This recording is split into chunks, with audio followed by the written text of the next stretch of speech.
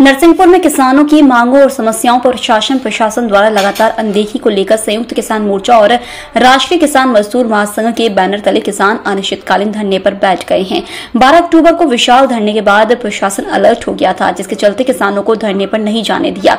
जिसके बाद किसान अलग अलग स्थानों पर धरने पर बैठ गए हैं। किसानों की प्रमुख मांग मक्का की समर्थन मूल्य या भावंतर योजना के तहत ज़िले में अतिवृष्टि के कारण खरीफ की फ़सलें का सर्वे कराकर किसानों को प्रधानमंत्री फ़सल बीमा योजना का लाभ दिलाना किसानों का गन्ना मिलों से बकाया भुगतान ब्याज जोड़कर शीघ्र दिलाया जाए और ज़िले में यूरिया डीएपी और पोटाक्ष जैसी महत्वपूर्ण खादों को समय पर पर्याप्त मात्रा में उपलब्ध कराया जाए।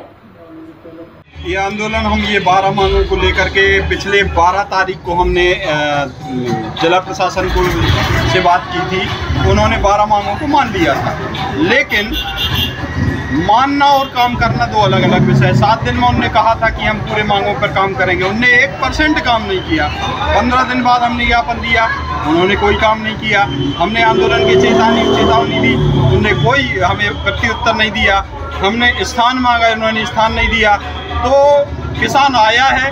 आज प्रशासन ने यहाँ पर रोक लिया हम धरना स्थल जा रहे हैं। वहाँ पर ये नहीं जाने दे रहे। वो अनुमति छोड़िए वो हमारा जवाब भी वापस नहीं दे रहे हैं। हम दो बार निवेदन कर चुके पत्र के माध्यम से उनका कोई पत्र नहीं आया। तो प्रशासन से बार बार निवेदन कर रहे हैं कि हमको एक रोड दे करके हमें वहाँ तक जाने दें।